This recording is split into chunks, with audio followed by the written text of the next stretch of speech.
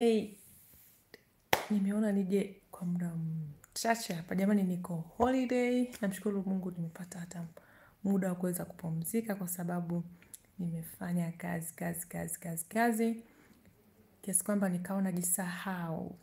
Kwanza kwanza niwashukuruni wale wote ambao mnajitokeza kwenye akaunti yangu mnao comment. Jamani, nawashukuruni sana, wenye maswali maswali yenu yananifikia nawashukuruni sana, kama nilivyoahidi kwamba nahitaji komenti zenu, ili komenti zenu ndio nazifanyie kazi. Nawashukuruni sana mnaopitia kwenye account yeah, kwenye hii channel, na pia nina nina nina kuja hapa kwa ajili ya ku, kutoa maelezo juu ya swali moja. Kuna mmoja aliniuliza swali, kwa nikaona ni bora nitoe maelezo kidogo kabla. Kabla uh, kabla holiday yangu haijaisha. Samahani, naona kama kuna kelele fulani zitatokea kwa sababu ya watoto. Kwa hiyo hivi sasa Hi. Kwa hiyo hivi sasa nitoke nje kwa sababu naona kama kutakuwa na makelele kidogo. Sasa uh, niko eneo ambalo jua naona kidogo jua lina lina niumiza. Okay, nibadilishe. Niko kama naona ma- mandhari yenyewe ndo hayo, mandhari yenyewe ndio hayo, watu wanatoka huko nje. Niko uzuri kwa kweli, na kuna baadhi ya vitu vinaendelea, kwa sababu leo kuna vitu ambavyo watoto wanatakiwa kuvifanya. Kwa hiyo watoto wanaendelea uh, kupitia pitia. Ukiangalia kule mlimani nako nako kuna hali ya hewa nzuri kidogo, kuna kuna kumedondoka na seruji, kwa hiyo baridi sio muda mrefu inaanza, kwa sababu huku tuko kidogo um, nyanda za juu, ndio maana kuna kuna nani, kuna milima mirefu, ndio maana kuna hata hizo seruji zinadondoka, lakini ni sehemu ambayo watoto wana wanafurahia na watu na familia zao wanafurahia. Na kama umeweza kupata bahati ya kusikiliza video yangu moja, kuna video moja ambayo nime post hivi karibuni inahusiana na inahusiana na safari kwa watu ambao wana familia. Kwa hiyo sasa, kuna mmoja aliniuliza swali moja. Katika swali lake hilo, nataka nimjibu kwa kutumia hii video. Alisema, uh, kwa nini nyumba nyingi zimetengenezwa kwa mbao? Kwa hiyo nikasema ngoja labda nipitie, kwa sababu hapo nilipo nyumba yake imetengenezwa na mbao, na sehemu zote tuliko kuna mbao. Kusema ngoja ni, nitoe maelezo kidogo kulingana na hili bwana. Uh, nyumba nyingi kweli huku ni za mbao, zimetengenezwa mbao, lakini mbao zake ni zile mbao ambazo kidogo zime zime zimetritiwa, si nisemeje, wamezitengeneza katika hali ambazo zinaweza zikadumu na na hii ni tamaduni ambayo imetoka toka miaka ya zamani, toka walipokuwa wameanza. Na nyumba nyingi sio tu wanajenga kwa kutumia mbao, wanaanza kuanza chini, wanaanza kwanza na, na, na kama unaiona nyumba ile, unaona chini wanaanza kabisa na, na simenti ambao ni simenti alafu baada ya, ya, ya chini alafu inayofuata lea inayofuata ndo wanaua wanaweka mbao, lakini wanaanza kwanza na, na simenti na uh, kwa kwa sehemu zote ambazo ni ni balcony, sijui hata kama ni ukuta sio nini, huwa wanaweka. Wanaweza wakaweka kwanza uh, wanaweza wakaweka concrete kwanza kawaida, yani kama ile simenti na simenti na na, e, na mawe au na mchanga kawaida, wanajenga kawaida, lakini kuna maeneo mengine ambao wanaweka mbao kama hivi, lakini mbao hizo ni zile mbao ambazo kidogo ni ngumu na zinadumu. Kuna nyumba zingine ambazo zimejengwa zaidi ya miaka zaidi ya miaka mia tatu. Na nyumba moja nilikuwa Ben, nilikuwa nimeenda kutembea Ben, onyeshwa imejengwa mwaka elfu moja mia saba mia saba na kitu, zingine elfu moja mia sita na kitu, na zinadumu mpaka sasa hivi watu wanaishi.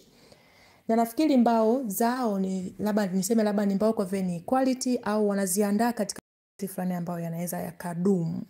Na ndio maana zina zina zina zina, zina zinapendelewa zaidi. Alafu pia wanaziita chalete kama sikosei. Nyumba hizi wanadai kwamba katika hali ya, ya nanii unaona wamezijenga wamezijenga kihivi. Inakuwa hivi yani kuna lala hivi na upande mwingine hivi. Na nyumba zote zime, ziko hivyo ukiangalia hata hiyo nyingine. Na hata uki ningekuwa na uwezo wa kwenda kule sehemu nyingine ningeweza kuwaonyesheni jinsi kulivyo lakini kule unaona ni mbali ni mlimani. Lakini nyumba zake zote zimekaa hivi. Na kwa nini wanajenga kihivyo ukiangalia hata kwa basi upande ule mwingine na kwenyewe ni hivyo hivyo. Kwa nini wanajenga hivi? Ni kwa sababu pale seluji inapokuwa inadondoka na katika kila nyumba juu ya da, juu ya nani ya ya juu ya i, zile vile vigae, juu ni vigae. Kwenye vigae wanaweka vyuma. Kuna unaona kama vidoti vidoti. Vile vidoti ni vyuma. Kwamba snow inapodondoka au theluji inapodondoka isi isi nani isi isidondoshe isi na vitu vingine. Kwa hiyo yenyewe ina uwezo tu waku, waku, wakushuka tu yenyewe kama kawaida, na hapo vile wameweka hivyo ili iwe rahisi kwa hiyo snow kushuka. Na nyumba zote madirisha sijui nini wanaweza wanatumia pia vyuma, lakini mbao ziko zimechukua asilimia kubwa zaidi. Kwa sababu gani? Kwa sababu wanadai katika hali ya joto mbao zinasaidia sana kutunza, yani kukiwa kuna baridi, angalau kunakuwa ili sio baridi ile yani sana, sio ile kali sana ndani. Na kwa sababu uki, ukiangalia kweli kuna utofauti. Tofauti ukikanyaga kwenye, kwenye ubao na ukikanyaga kwenye sehemu ambao ni, ni, ni nani ni jiwe, utaona mbao kidogo ina, ina hali ya joto fulani kuliko jiwe. Sijajua wanasayansi wanaweza wakanisaidiaje hilo, sijajua. Nyumba za namna hiyo, na kweli nyumba zote zimejengwa kwa kwa kutumia mbao, lakini sio mbao tu, kama nilivyosema, chini pia wanaanza na wanaanza na wanaanza na mawe au konkriti kama ilivyo, lakini juu yake wanaweka vigae. So hicho ndicho ambacho nilikuwa nataka nizungumzie. Kuna historia nyingi ambayo imeelezwa kuhusu hizo walkie talkies. They're there at the corner. Uh, the other one I don't know where it. Kwa hiyo kuna ah, kuna historia kubwa ambayo inahusiana ya ich komme. ya ikome Ja, ja, ich komme. Ich will. Ha. Yeah. Sorry, mwanangu alikuwa anajaribu kuzungumza na mimi baadhi ya vitu. Ananiulizia. Kuna historia fulani ambayo inazungumzia kuhusiana na hizo na hizo nyumba za mbao. Na ni kwamba watu wengi ambao uh, nafikiri sijui imeanza ni maswala ni, ni, ni, ni Indonesia kama sikosei, wanasema kule ndo wanajenga zaidi nyumba ambazo zina mbao sana, na kweli maeneo yote ambayo nimeona na nyumba ambayo imejengwa kwa mbao ina gharama kubwa zaidi kuliko nyumba zingine, na huwa wana, wanajenga za aina fulani na kuwa na madirisha yake, ni yale madirisha yanakuwa madogo madogo. Um, siku hizi angalau wamezibadilisha zinakuwa kidogo modern kama unavyoona hivi, lakini nyumba nyingi nyumba nyingi vidirisha vyake ni vidogo. Mfano. Nikupeni ni, ya ni niangalie, angalieni. Sijui kama inaweza kuonekana hapa, iwezi kuonekana vizuri, na ukienda maeneo ambayo ni hiyo nayo haiwezi kuonekana vizuri, labda kule kwa neiba unaweza ukaona vizuri kwamba nyumba zake nyumba zao nyingi vidirisha vyao ni vidogo, na siku hizi kidogo wanaanza kubadilisha, wana, wana, kwamba wanahitaji mwanga mwingi, na ndio maana huwa wanajenga katika hali ya kuweka uh, kubadilisha, yani ndio hivyo kuweka madirisha makubwa angalau. Na pia chini kama nilivyosema, chini wao wana, wana, wana, wanaweka pia mbao, inategemea kwa sababu zamani vile kama hivyo ukikanyaga kwenye mbao angalau kuna, inakuwa joto kuliko vile ukikanyaga kwenye kwenye kwenye simenti. So na nafikiri labda kulingana na na hali halisi ya sasa hivi kwamba nyumba nyingi zinaanza kubadilishwa hazijengi kwa mbao kwa mbao kwa sababu ya mazingira kwamba watu hawataki sasa kukata sana miti ila nyumba zile zilizojengwa zamani vile bado zipo na zinadumu zingine ziko miaka mingi sana zinadumu mpaka sasa hivi. So na kihistoria kihistoria uh, kuna baadhi ya nyumba unaweza ukaidentify kwamba nilishawahi kwenda museum kwenye kwenye kwenye nyumba ya maonyesho walionyesha kuna nyumba za aina tofauti. Kuna nyumba zingine ambazo zilikuwa zinamilikiwa na maskini na nyumba zingine ambazo zilikuwa zinamilikiwa na matajiri. Nyumba ambayo ilikuwa inamilikiwa na tajiri ilikuwa inaonyeshwa kwamba pembeni ya ukuta yani ukuta mfano uku- uku- ukuta wa nje unakuwa unatengenezwa na vigae vidogo vidogo yani vinakuwa kama vigae. Uh, nafikiri kama hapa sijui naweza vikaonekana ngoja nikuonyesheni